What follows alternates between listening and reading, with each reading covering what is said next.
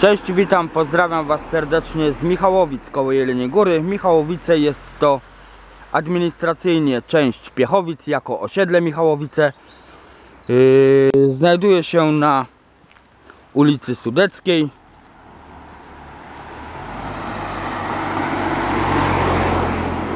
Czyli drodze między Piechowicami Górnymi a Michałowicami. Tutaj skalny tunel.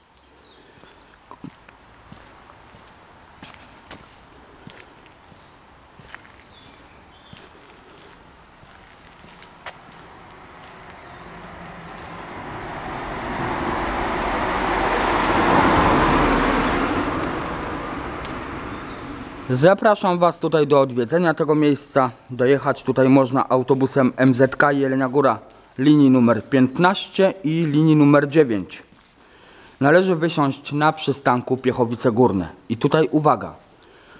Linia numer 9 nie mogą być to kursy do Górzyńca, a linia 15 nie może być skrócona do Michałowic ani do domu Hauptmanna w Jagniątkowie Górskiej dzielnicy Jelenie Góry. Na autobusie musi pisać w przypadku linii numer 9 Piechowice Górne, a w przypadku linii numer 15 Piechowice Dworzec PKP. Wysiadamy na przystanku Piechowice Górne, idziemy kawałek do góry i dochodzimy tutaj do tego miejsca. Ewentualnie można też tutaj się wybrać rowerem.